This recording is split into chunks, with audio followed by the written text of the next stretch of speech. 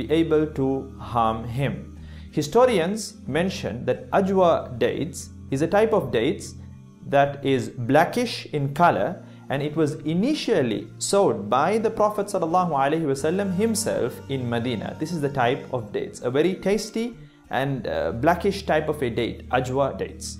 Next in line is Ma'u Zamzam, Zamzam water. Allahu Akbar. It is indeed a very blessed type of water and it, is an amazing cure for many sicknesses as was taught to us by Rasulullah sallallahu alaihi wasallam. Scholars rahimahumullah also teach us that Ma'u Zamzam lima shuribala that the water of Zamzam is for what it is drunk for. If you drink it with faith, conviction and belief then Allah subhanahu wa ta'ala will bring about amazing cures through that blessed water. And it is not only for physical diseases, it is even applicable in regard to psychological diseases, marital issues, jinn possession, black magic, evil eye, and many other diseases. Say in a marital bond, if two spouses are having problems, then scholars uh, advise them to drink Zamzam water intending that their problems should be resolved and Allah Azza wa Jal will bring about amazing results if they drink it with full conviction and belief that it will work insha'Allah ta'ala. May Allah subhanahu wa ta'ala save us all from such problems.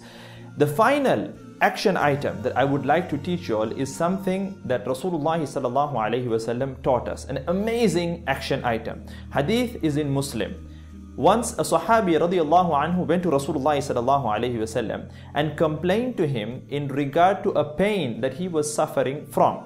Rasulullah sallallahu alayhi wasallam advised him to place his hand on the part where he was uh, feeling that pain and to say Bismillah thrice in the name of Allah thrice and then he taught him to say أعوذ بالله وقدرته من شر ما أجد وأحاذر Let me repeat أعوذ بالله وقدرته من شر ما أجد وأحاذر He sallallahu alayhi wasallam taught him to say this seven times. You're supposed to say this particular dua, this supplication, seven times. The meaning is I seek refuge in Allah subhanahu wa ta'ala and the power of Allah azza wa jal from the evil that I am experiencing, that I am fearing, and I am worrying about. Min sharri ma ajidu wa uhadir. Allahu Akbar. My dear brothers and sisters in Islam, let us revive these amazing sunnah of our beloved Master Muhammad sallallahu alaihi wasallam and trust me you will see amazing results because these are divine teachings of our beloved Master Muhammad sallallahu alaihi wasallam. Wama yantiqu anil hawa. He sallallahu alaihi wasallam does not speak out of his own desires. In huwa illa wahyun yuha. What he says is divine revelation from Allah Azza wa Jal. So these are the words, these are the teachings of our beloved Master Muhammad sallallahu alaihi wasallam. We must have full conviction and belief and practice these teachings. Inshallah ta'ala, you will see amazing results.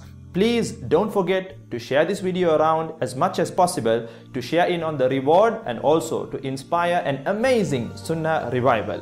جزاكم الله خير وآخر دعوايا أن الحمد لله رب العالمين